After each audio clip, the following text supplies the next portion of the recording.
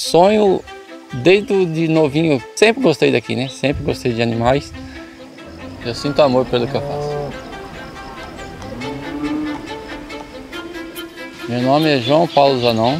Estamos em Glória de Dourados, Fazenda Santa Luzia. Eu trabalho com pecuária de corte e de cria. Trabalhava com pomar de laranja, de limão, até que chegou um ponto que estava difícil lá essa parte de citricultura. Eu também não era muito chegado. Aí eu resolvi vir para cá. Tava meio abandonado, meio largado, né? Começamos a ajeitar tudo aqui. Né?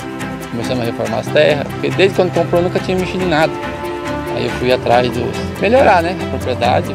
Só que aí eu vi que a reforma em si tá ficando complicada porque o gramão, que era o principal problema para nós aqui, ele voltava com dois, três anos e começava a voltar de novo, né?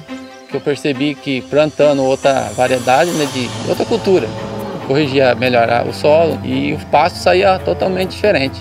Foi aumentando, o gado foi aumentando, aí surgiu a oportunidade de fazer um investimento lá. Falei assim, será que vai dar certo, né? Já tinha mexido com todo tipo de banco, né? Fiz financiamento para reforma de pastagem e custei agrícola. Meu espanto foi gigante pela agilidade que eles fizeram, entendeu? A disponibilidade deles de servir a gente, de correr atrás das coisas que a gente talvez tinha uma dificuldade, eles procuravam atender da melhor forma possível, né? Daí para frente, só cresceu. Facilitou minha vida em tudo. João Paulo é um associado que já trabalha bastante tempo com a cooperativa. Ele e a esposa abriram a conta do filho quando ele tinha recém 17 dias. Fazer diferente? Ter ido mais rápido procurar Cressol. Cressol